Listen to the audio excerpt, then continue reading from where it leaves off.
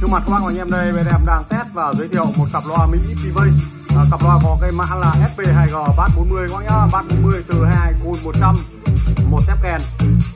À, loa sử dụng thùng gỗ bọc lì với thông số kích thước của mã SP2G được thiết kế khoảng 82 chiều cao ngang là 50 ờ, trên 50 sâu là 60 Đấy, cặp loa tình trạng zin đẹp không thì vết cặp loa PV Mỹ Sinh ở bên em tuyển đẹp xuất sắc. Zin nguyên bản từ A đến Z và cặp loa này đang giá đầu tư trên 18 một chút. Đấy, anh em nào có nhu cầu một cặp loa Mỹ Sinh còn zin nguyên. Đấy, với giá đầu tư rất hợp lý liên hệ bên em. À, theo hai số điện thoại 0974 637 646 hoặc 09 182 492 65 bát rội như bom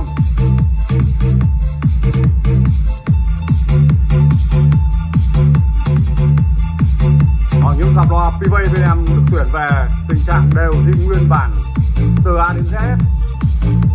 Đấy, loa tình trạng đẹp nguyên zin.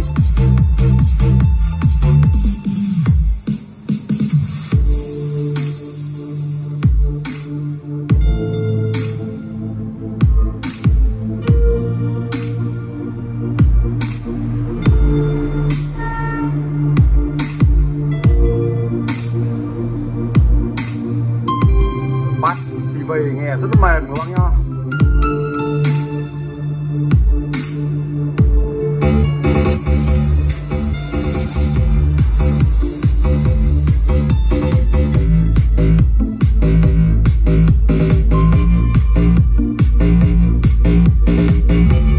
với một cặp loa PV 40 từ 2 côn 100 FP2G dùng cho những không gian rộng phòng trà vũ trường quán bar.